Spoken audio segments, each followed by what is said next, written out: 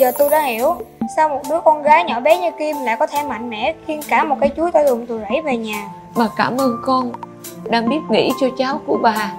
Bây giờ con ở chơi với bé Kim đi Nghiên Để bà đưa cặp dây chuyền này cho bé Châu nghe. Thôi mấy người về đi. Trời tối rồi. Kim Tôi nghĩ sống trên đời á Chỉ nên sợ người thương mình Chứ đừng sợ người ghét mình Là sao? Là sợ người thương mình buồn Sợ người thương mình không được khỏe Sợ người thương mình giận mình Chứ người ghét mình. Sai thì mình nhận Đúng thì mình không cần phải sợ. Mấy người chưa từng mồ côi Chưa từng ở nhờ Sao mà mấy người hiểu được cảm giác đó? Đúng Có thể tôi không hiểu được Nhưng mà tôi không muốn thấy Kim bị bắt nạt. Rồi mấy người làm được gì chứ? Tôi sẽ bảo vệ cho Kim miền ký ức ấy thương đâu vụn vỡ. Có ai làm gì Kim đâu mà Huy phải bảo vệ chứ?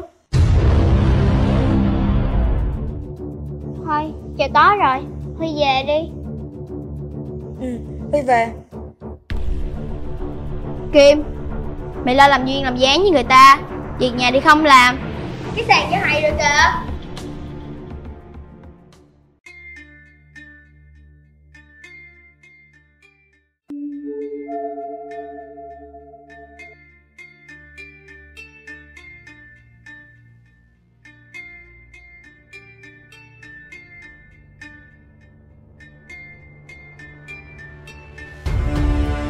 Ơ, à, đứt gọng rồi. Kim, mày lượm giùm tao nha. Nhớ là 15 hạt á Mất một hạt là má tao phạt mày á. Chị, chị nói thiệt đi. Cái sợi dây chuyền hồi nãy là chị hại em đúng không? Sao mày dai như đĩa vậy Kim? Sao mày hỏi hoài vậy? Chứ ở đây chỉ có em với chị. Chị đừng có giả tạo nữa. Em chỉ không hiểu Mình là bà con họ hàng Mà tại sao chị lại ghét em đến như vậy? Tao không có ghét mày nhưng mà mày làm tao ngứa mắt. Ngứa mắt chuyện gì? Tự hiểu đi. Lượm hạt cho tao đi. Mất một viên là má tao phạt á.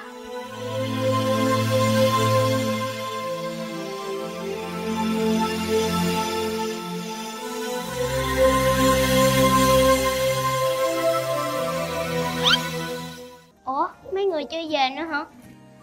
Tôi đã nói là tôi sẽ bảo vệ cho Kim rồi mà.